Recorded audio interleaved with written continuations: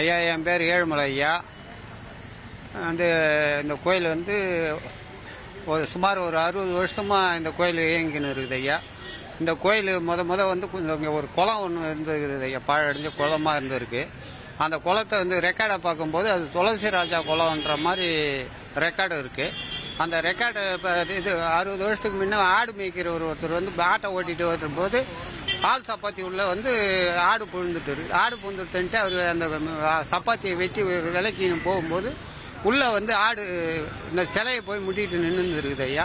அப்புறம் அவர் அதை வழி இது சுத்தம் பண்ணி அதுலேருந்து வழிபட்டுன்னு வர ஆரம்பித்தார் அவர் இருக்கிற வரைக்கும் அவர் செய்துட்டு இருந்தார் ஐயா. அவர் பிற்காலம் போன பிறகு அவர் வந்து சித்திரை வருஷ பிறப்புக்கு விசேஷம் பண்ணுவார் ஐயா. ட்ராமா கூத்து ஏதாவது செய்வார். விசேஷம் பண்ணுவார் ஐயா. அவர் பிறந்த நாள் விழாவுக்கு விசேஷம் பண்ணிட்டு இருந்தார் ஐயா. அதுக்கு பிற்பாடு இப்போ ஒரு முப்பது வருஷத்துக்கு முன்னே சின்னதாக கரண்ட் ஓட்டா மாரி ஒரு கோயிலை கட்டணும் ஐயா. வெள்ளக்கால இருக்கிற காலத்தில் அந்த கோயில் பூரா பழைய கோயிலெல்லாம் தகற்றப்பட்டிருந்து சின்னதாக ஒரு கோயிலை கட்டணும் ஐயா முப்பது வருஷத்துக்கு முன்னே. கட்டிட்டு கும்பாபிஷேகத்துக்கு போய் ஐயரை பார்க்கும்போது அவர் வந்து என்ன பண்ணிட்டார் கோயில் வந்து பார்த்துட்டு தான் நான் சிலை சிலைங்களை பார்த்துட்டு தான் கும்பாபிஷேகம் பண்ணுவேன். நான் பார்க்காத செய்ய முடியாதுன்னு சொல்லிட்டாரு ஐயா. அப்போ அவரை கொண்டு வந்து காட்டி பார்க்கும்போது சிலை பின்னமாக இருக்குது என்ன காரணம்? இது இந்த சிலை வச்சு வழிபட முடியாதுன்னு சொல்லிட்டாரு ஐயா. அதுக்கு பிற்பாடு புதுசாக ஒரு சிலை மகாபலிபுரம் போயிட்டு செய்துட்டு வந்து அந்த சிலை வச்சு பிரதட்சை பண்ணோம் ஐயா. அதுக்கு பிற்பாடு கும்பாபிஷேகம் பண்ணோம். அதுக்கு பிற்பாடு ரெண்டாவது பன்னெண்டு வருஷம் சேர்ந்து கும்பாபிஷேகம் பண்ணுற காலத்தில் இந்த சிலையை சூபியை க- கட்டி கட்டணும் ஐயா. கட்டி முடித்து கும்பாபிஷேகம் பண்ணோம். இந்த மொட்டையாக இருந்தது சுத்தமாக அது கரண்ட் கொட்டா மாதிரி ரவ்வோண்டு கோயில் வச்சுட்டு மொட்டையாக இருந்தது. அப்புறம் நல்லா இல்லை அசிங்கமாக இருக்குதுன்ட்டு இதை அப்படியே சுற்றி மண்டபம் கொஞ்சம் கொஞ்சமாக ரெடி பண்ணி மண்டபத்தை போட்டோம் ஐயா. இப்போ கும்பாபிஷேகம் பண்ணணும். கோபுரம் ஒன்று கட்டி கும்பாபிஷேகம் பண்ணலாம்னு இருக்கிறேன் ஐயா. அவ்வளோதான் ஐயா. இந்த இது இருக்குல்ல மாநில விஜயோடைய மாநில மாநாடு நடத்துறாங்க. ஆமாம் ஐயா. இந்த இடத்துக்கு வேற ஏதாவது வரலாறு இருக்குதா? இந்த இடத்துக்கு இதான் துளசி ராஜாவுடைய வம்சத்தில் வந்த குளம் இது.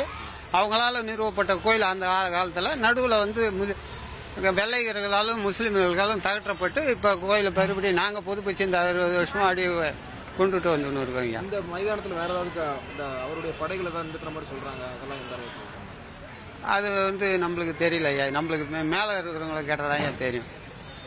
நம்மளுக்கு ஐம்பத்தஞ்சு வயசு ஆகுது ஐயா. இது நம்மளுக்கு தெரிஞ்ச வரைக்கும் இதான் ஐயா. நம்ம ஊரில் வந்து முது முதியோர்னா ஒருத்தர் இருக்கார் ஐயா. அவர் சாரங்கபாணின்னு ஒருத்தர் இருக்கார். ஊருக்கு ஊருக்கு முதியோர்னா அவர் தான் அவருக்கு தான் எதனா பழைய வரலாறு எதனா தெரிஞ்சால் தெரியலாம் ஐயா.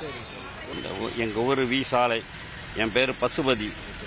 இந்த ஊருக்கு இங்கே வந்து துளசி ராஜா என்றவன் மன்னர் ஆட்சி பண்ணியிருந்த ஊர். இப்படி படைகளை இட்டுக்கிட்டு இப்படி போயிட்டு இப்படி வர பார்த்து தங்கறதுக்காக இங்கே ஒரு துளசி ராசா குளத்தை வெட்டி அங்கே ஒரு ஆஞ்சநேய பிரதிஷ்டை பண்ணிட்டு அவங்க தங்கிட்டு போனது. இது ஒரு ஐநூறு ஆண்டுகள் முன்ன நடந்த ஒரு இது. இ- அதுக்கப்புறம் நாங்களாக உருவாக்கி இந்த கோயிலை உருவாக்கணும். ஆமாம் இந்த மன்னருக்கும் இந்த ஊருக்கும் வேற என்ன சம்பந்தங்கள் இல்ல அவர் இந்த அந்த அவருக்கு கீழே இந்த ஊர் இருந்தது. அவ்வளோ இதெல்லாம் ஒரு ஐநூறு வருஷம். எனக்கு எனக்கே அறுபத்தெட்டு வயசு. எங்க அப்பா வந்து நூத்தி இருபது வயசு ஆயிடுது. அவரு தொண்ணூத்தஞ்சுல காலமானாரு. அவர் சொல்லி நாங்க கேள்விப்பட்டது. என்ன யாருடைய வாரிசு அவரு? அவர் யாருடைய வாரிசுன்னு அது எங்களுக்கு தெரியல. ஆனா செஞ்சி கோட்டை ஆண்டவங்கிட்ட அவங்க அவர் கீழே இருந்த ஒரு மன்னனா இருப்பார் ஆமா. ராஜா தேசம் மன்னனுடைய கீழே இவங்க இருந்திருப்பாங்க அதுல அந்த மன்னரை ம- வேற மக்களுக்கு ஏதாவது தெரியுமா? உங்களுக்கு இல்ல வேற வெளியே இன்னும் பெரியவங்கலாம் தெரியும். இது கெசட்லயே இருக்கு. இது இருக்கு. இந்த மாநாடு நடக்கக்கூடிய இடம். இந்த மன்னர் வரலாறு எல்லாம் தெரிஞ்சுதான் இந்த மாதிரி மாநாடு நடத்துவீங்கன்னா இல்ல இல்லை இதுக்கு முன்ன அதிமுக மாநாடு போறதுக்காக இந்த இடத்த சூஸ் பண்ணாங்க. அதுல அரைவாசி வேலை அரை வேலை முடிஞ்சிச்சு. உடனே எலெக்ஷன் அறிவிச்சுட்டாங்க. சட்டமன்ற எலெக்ஷன் அதோட அது நின்று போச்சு. அதுக்கப்புறம் எம்பி எலெக்ஷனில் திமுக வந்து மாநாடு நடத்தி ரெண்டு தொகுதி எம்பியை வந்து அவங்க வந்து தேர்வு பண்ணாங்க. விழுப்புரம் தொகுதி ரவிக்குமாரையும் கடலூர் தொகுதி விஷ்ணு பிரசாத்தையும் அவங்க வந்து இங்கே வந்து அறிமுகப்படுத்தி கூட்டத்தை போட்டார் ஸ்டாலின் முதல்வர். அப்போ இது ஃபேமஸ் ஆச்சு. அதுக்கப்புறம் இந்த வெற்றி கழக மாநாட்டுக்கு மூணு இடத்துல தமிழ்நாட்டில் இடம் தேர்வு பண்ணாங்க. கொடுக்கல யாரும். இது மூணாவது இடம் இங்க வந்து கேட்டாங்க. எல்லாரும் எல்லா விவசாயம் நிலத்தை கொடுத்து அந்த இது கொடுத்தீங்களா? இல்ல எங்களுக்கு இருந்த நிலத்தை வித்துட்டாங்க. எங்களுக்கு ஆறு ஏக்கர் இருந்தாங்க வித்துட்டோம். வேற இருக்கிறவங்க கொடுத்தாங்க ஒரு இருபது பேர்.